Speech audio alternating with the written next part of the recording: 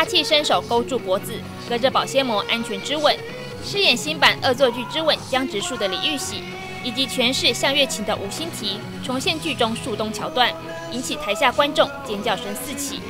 面对许多前辈成功演绎这位经典漫画人物，李玉玺表示，虽然感到很大的压力，尤其网友评论他太丑，丑到剧看，但他会用自己的方式重新诠释，还特地为戏创作演唱片头片尾曲。果然，这位新版的江直树在骂人方面毫不逊色，嘲讽女主角是世界上最微不足道的雌性人类，更以最小粒子飞米形容向月琴脑容量太小。第一集就遭遇悲惨命运，房子崩塌成为受灾户。吴欣缇谈起她饰演的向月琴，认为两人个性如出一辙，